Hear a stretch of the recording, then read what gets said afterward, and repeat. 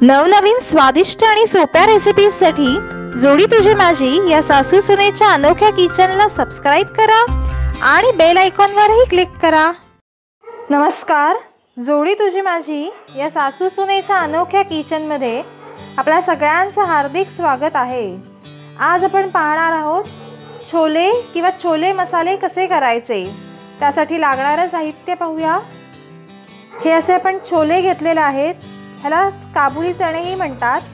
हे रात्री आठ तास भिजत घालायचे आणि ते भिजल्यावर असे छान शिजवून घ्यायचे शिजवताना त्याच्यात थोडं पाणी मीठ आणि हळद घालायची आहे आणि कुकरला तीन चिट्ट्या करून घ्यायच्या आहेत. मो फोडणीसाठी आपल्याला तेल लागणार आहे. मोहरी हिंग हळद बारीक चिरलेले दोन कांदे मीठ आलं लसूण पेस्ट टॉमॅटोची प्युरी तिखट आणि छोले मसाला. आता आपण याची कृती पाहूया. प्रथम कढईत तेल तापत ठेवूया. तेल तापलं की त्याच्यात मोहरी घालून घेऊया. मोहरी छान तडतडली की त्याच्यात हिंग घालूया.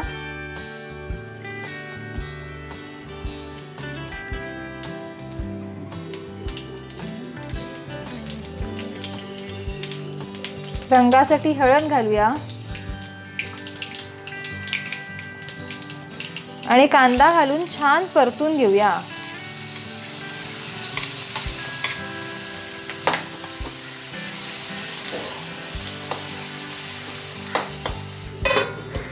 झाकण ठेवून एक वाफ काढून घेऊया. आता आपण बघूया आपला कांदा शिजलाय का? कांदा छान शिजलाय. आपण आता त्याच्यात आलं लसूण पेस्ट घालून घेऊया. आणि छान परतून घेऊया. आता फोडणीतच टोमॅटोची प्युरी घालून घेऊया. आणि परत एकदा परतून घेऊया.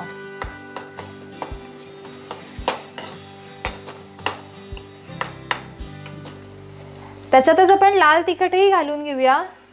म्हणजे कलर खूप छान येतो.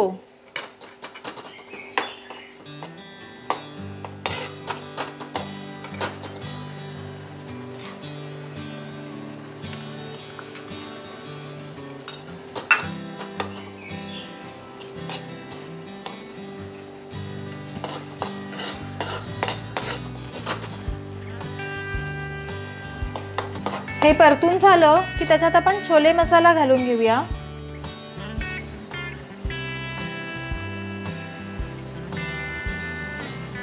मसाला छान परतून झाला की त्याच्यात आपण शिजलेले छोले घालून घेऊया. छोले शिजवताना आपण ऑलरेडी मीठ घालून घेतलेलं आहे. तर ह्याच्यात आपण किंचित थोडंसं चवीप्रमाणे मीठ घालूया आणि छान परत एकदा वाफ काढून घेऊया.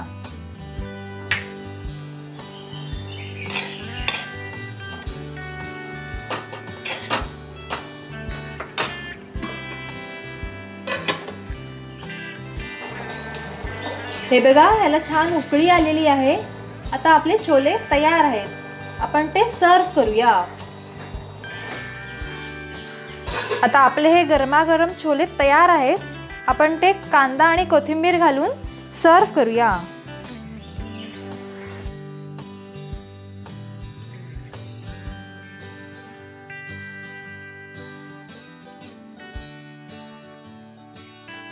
आपले हे छोले किंवा चना मसाला आपण पोळी पुरी ब्रेड किंवा भटुऱ्यासोबत सर्व करू शकतो.